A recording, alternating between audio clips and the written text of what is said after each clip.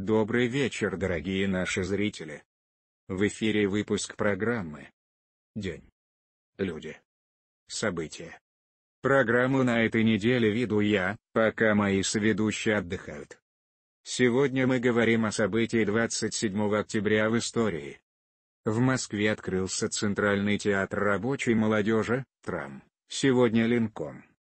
В 1927 году в Москве, в здании бывшего купеческого клуба был создан Театр рабочей молодежи, сегодня Московский государственный театр имени Ленинского комсомола, или Ленком. Четыре года новый театр существовал на полупрофессиональных началах. В 1931 году коллектив получил статус профессионального театра. В 1932 году в ТРАМ была приглашена группа мастеров МХАТ Судаков, Станицын, Баталов, Хмелев.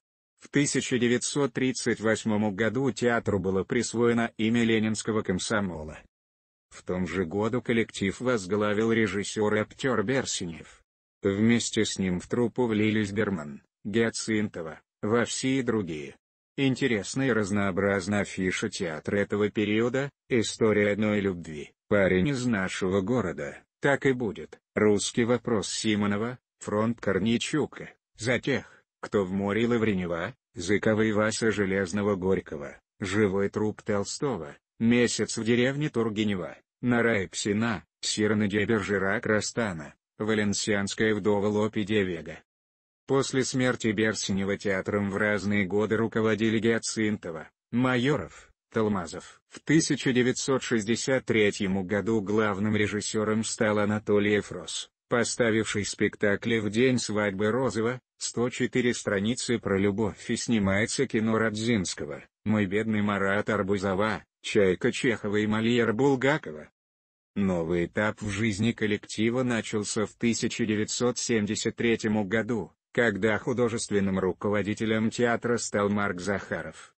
Он поставил ряд спектаклей, которые стали событиями московской театральной жизни, Тильгарина, Иванов-Чехова, «Звезда и смерть» Хакина Мурьета Неруда, первая русская рок-опера Нонны и Авось Вознесенского и Рыбникова, «Три девушки в голубом Петрушевской», «Диктатура совести Шатрова», «Поминальная молитва Гарина».